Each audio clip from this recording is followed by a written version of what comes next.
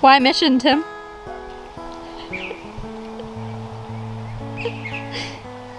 Could have fun like this. In the book Steps to Christ, there's a powerful statement that says that we should meditate upon the mission of Him who came to save His people from their sins. An amazing statement that Jesus was sent on a mission from His Father to this earth to save His people from their sins. That was His mission. And I believe He describes this mission further in John chapter 10, where he, verse 10, where He says that the enemy, the devil, he only comes to steal and to kill and to destroy our lives. That's all he wants. But Jesus says that I have come into this world on my mission to save my people from their sins, to give them the abundant life in Christ. That is why he came. And I'm so thankful that he did. He came on his mission to save me. I believe he's given me the abundant life in Christ and saved me from my sins. And I want others to experience the same. That is why I do mission work.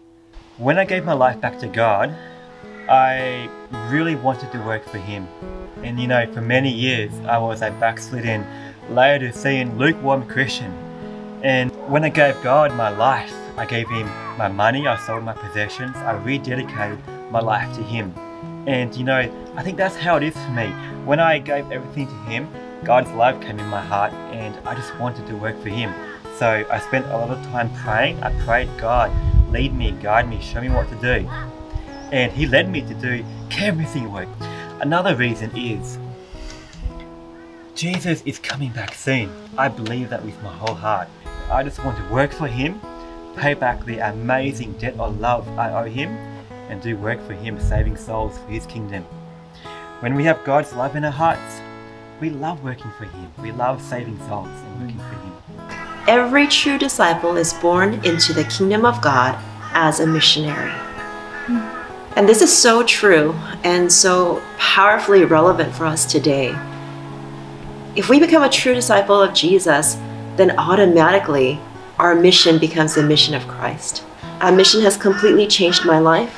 In the eight years um, since God called me to give up everything, I have learned so much and have grown so much, have seen the joy of seeing people come to Jesus, have had the joy of sharing the good news. It's a work that not only saves others, but saves me. This morning I was reading in Steps to Christ, chapter 13, and this totally encapsulates why mission. It says this Happiness that is sought from selfish motives outside of the path of duty is ill balanced, fitful, and transitory. It passes away, and the soul is filled with loneliness and sorrow. But there is joy and satisfaction in the service of God. The Christian is not left to walk in uncertain paths. He is not left to vain regrets and disappointments. Mission is the best, and um, I would do it again and again if I had to live my life over 10 million times. I have a job back in Melbourne and I really love my job. It's really good, but I don't feel that I'm doing enough for God in that work. So this is why I love the canvassing programs because then I can just say goodbye to my work for a couple of weeks, a couple of months and just go and do mission work and I can be on the doors working with people, real life situations, meeting them where they are and trying to help them to see their need of God. So it's just a privilege and a blessing to be in this field. So I'm really passionate about it because I can work with God and for God in these end times when it's so crucial for us to be working for Him. So it's really exciting, and I encourage other people to get involved in mission, no matter what type of mission it is. We need to be doing something for God because that's what God's called us to. We can't be stagnant in God's church. Ellen White says that the greatest joy and the highest education is in service. And whenever I read that quote, I always picture us in heaven and we receive our crowns and we see the stars on those crowns that represent the people that we've helped bring to Christ.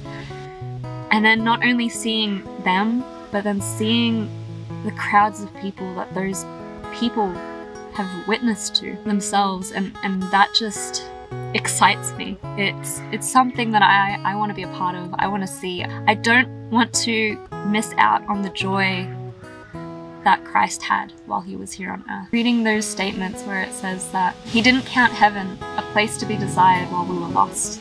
But we can bring that to ourselves. We can look at ourselves and go, wow, Christ really wants me there to the point where he died for me. But then we can look at our neighbor and go, Christ really loves them to the point where he would die for them. And he doesn't count heaven to be a place to be desired while they're lost. How can I live my life to try and share with others how loving God is and how worthwhile a life with Him is? And that's why I do mission work.